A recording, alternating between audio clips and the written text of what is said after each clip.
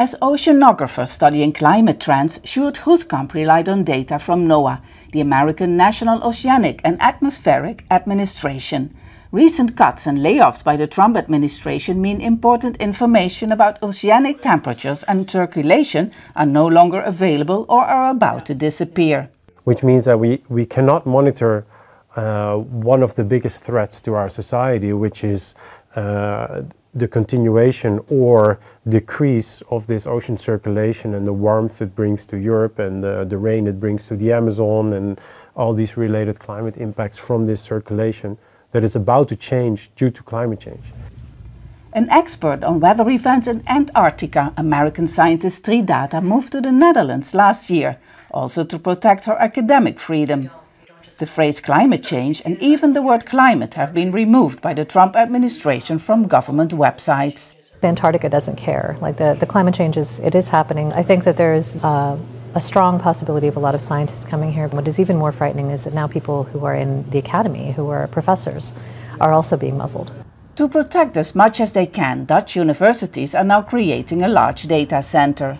Scientists say that decisions made in Washington are blinding the world for the most urgent risks of our time.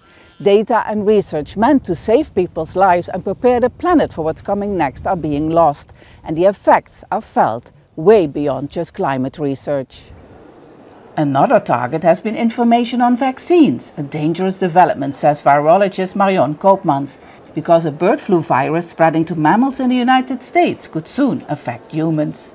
That's really a concern. You see a virus that we know can trigger pandemics behaving in a very worrisome way, expanding in a way that uh, really should get a lot of attention, and that attention is not there.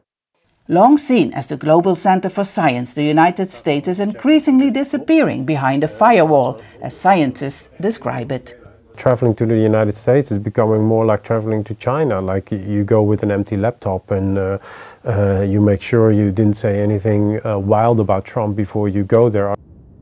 Despite the threats, scientists say this should be a wake-up call for Europe, where a sea of data will become available if it starts investing more heavily in research and science. Step Vaessen, Al Jazeera, Texel, the Netherlands. Make sure to subscribe to our channel to get the latest news from Al Jazeera.